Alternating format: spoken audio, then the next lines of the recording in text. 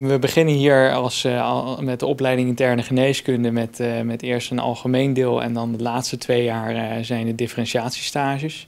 En er zijn hier heel veel verschillende differentiatiestages. Um, en een daarvan bijvoorbeeld is de oudere geneeskunde. Het leuke is dat je dat ook allemaal terugziet. Um, soms loop je op een afdeling mee of bij een bepaalde differentiatie mee als, als keuzestage nog voordat je zelf je, je keuze hebt gemaakt. En uh, je ziet ook uh, bij het, uh, bijvoorbeeld het ochtendrapport bij het bespreken van de patiënten dat er toch veel verschillende mensen van verschillende differentiaties bij elkaar zijn. Wat het toch wel een leuke diepgang geeft aan, aan zo'n ochtendrapport, waarbij ja, mensen vanuit hun eigen invalshoek de casus belichten. Wij leiden wel tien verschillende soorten internisten op, waarvan de oudere geneeskunde er één is.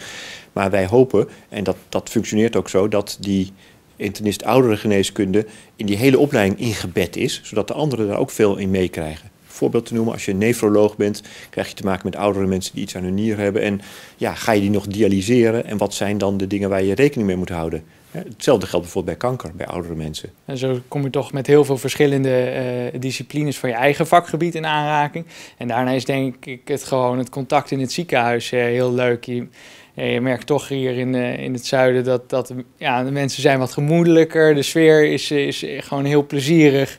En er wordt gewoon ook heel goed en leuk omgegaan met elkaar. En uh, zeker als, een voorbeeld op mijn spoedeisende hulpstage zat ik naast de neuroloog en de longarts.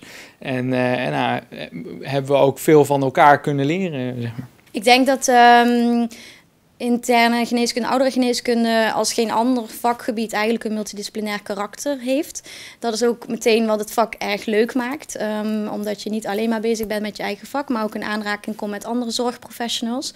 Dus naast de professionals in het ziekenhuis, die ik net genoemd heb, zoals de apotheker, de psychiater, de neuroloog, um, zijn wij ook heel veel op pad buitenshuis, buiten het ziekenhuis. En hebben wij heel veel contacten en nauwe relaties met huisartsen, verpleeghuisartsen. We uh, doen consulten uh, bij uh, de gehandicapten zorg. En uh, dat maakt het vak erg afwisselend. Ik denk dat een AIOS die hier de stage doet, uh, te maken krijgt met een, een hele interessante opleiding. Die allerlei aspecten biedt uh, die andere regio's misschien minder bieden. Zoals het feit dat we heel erg ook op, de, zeg maar, op buiten het ziekenhuis georiënteerd zijn. Dat is één aspect.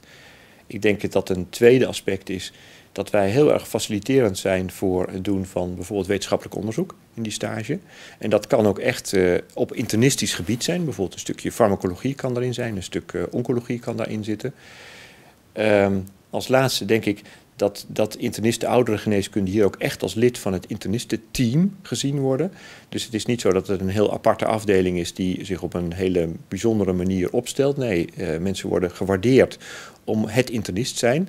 En die aspecten zijn denk ik van groot belang. Even afgezien nog van het feit dat de regio zelf hier voor iemand interessant kan zijn om, om te verblijven. Maar inhoudelijk zijn dat de aspecten.